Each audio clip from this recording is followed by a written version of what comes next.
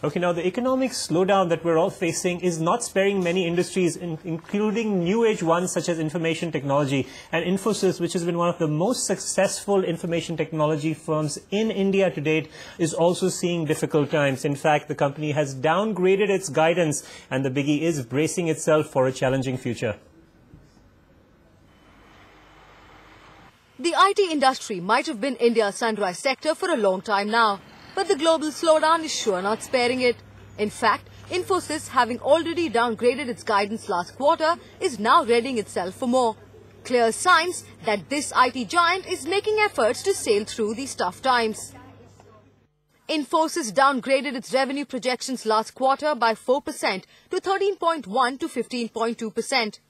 And given the continuous pressure on its BFSI deals in the US, guidance could be further downgraded to 12% for financial year 2010-2011.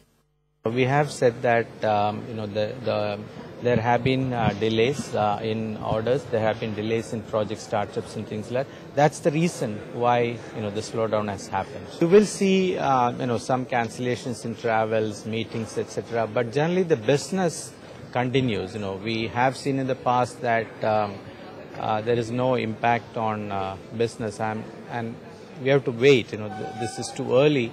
But my own guess will be that business will continue.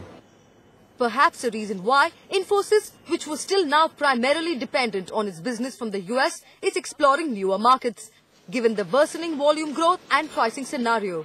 So November 2007 we announced that uh, we have created a special uh, a new business unit focused on India we have now new initiatives in Middle East, Latin America, South America.